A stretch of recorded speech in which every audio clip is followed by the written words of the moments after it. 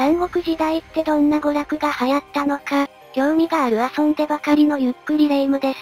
某三国志ドラマだとコオロギバトルで遊んでたりもしていたんですよね。娯楽といえばお酒とギャンブルしか思いつかない、怠惰で下戸なゆっくり悟りです。今回は三国志武将紹介。紹介するのは五古代将軍の子孫たちよ。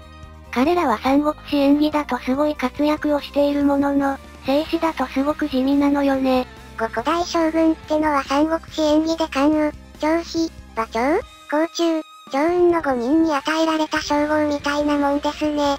静止でもこの5人は同じ列伝に記述されてますしなんか特別感がある人物たちなんですよね。じゃあまずは関羽の子孫から紹介するわ。関羽が後の孫権に捕虜にされて処刑された後、彼の息子の観光が後を継いだの。観光はあざ名を暗黒と言い、年はまだ相当若かったもののめっちゃすごい人物だとの評判があって職の上昇である諸葛亮はとても彼のことを評価していた。なもんで、観光は若干二十歳という異例の若さで自中、中間軍に抜擢されたもののその才能を発揮することはなくそれからわずか数年後に病死してしまったみたい。観光の死後、彼の息子である関東が後を継いで関東は職の皇帝たる友禅の一族の娘と結婚して古本中老将に任命されたものの、彼もまた、これといった活躍を見せずに病死したの。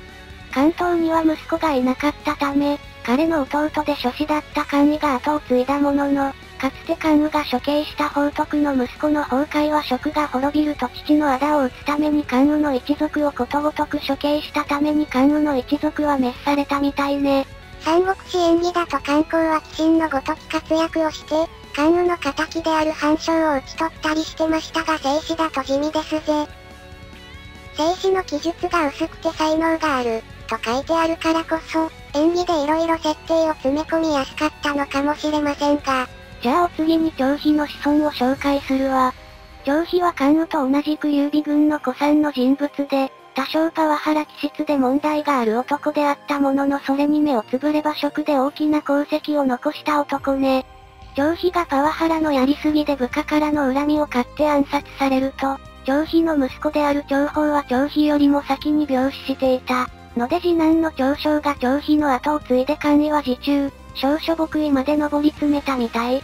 長将は263年に義の武将である当該が職の都である生徒に攻め込んでくると、友禅は当該に降伏をすると決めていたので当該のもとに降伏の使者として出向いた男でもあるの。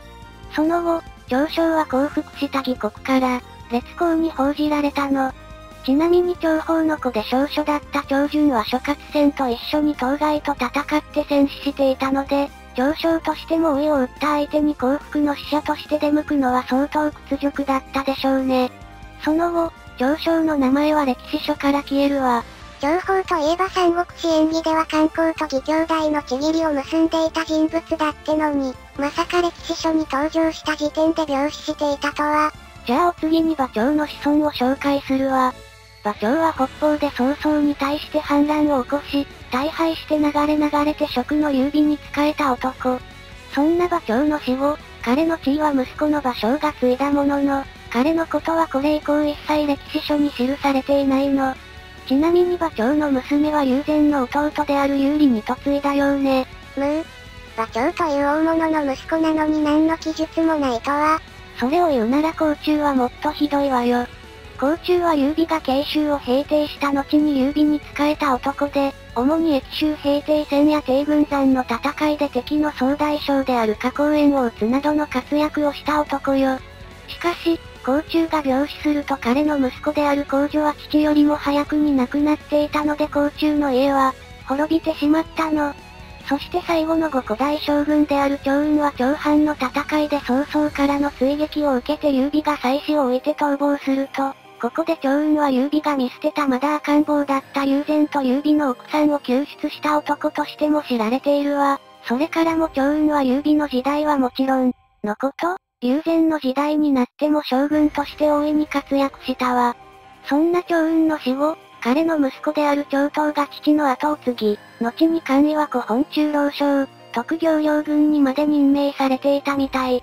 この記述を最後に長刀の名前は歴史から消え、長東の弟である長江和が紋章に任命されており、職の大将軍である脅威に、従って職に攻め込んできた当該と戦って戦死したみたい。みんな、軒並み早くに病死したり戦死したものが多いわね。後進の息子が戦場で散るのは悲しいことですぜ。